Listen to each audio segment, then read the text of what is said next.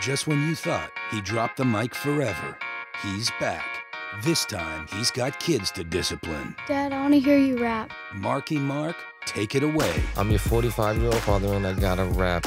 And if you keep misbehaving, I'm gonna give you behind a slap. And it's called a spanky. Yep, yep. Yep, yep, yep, yep.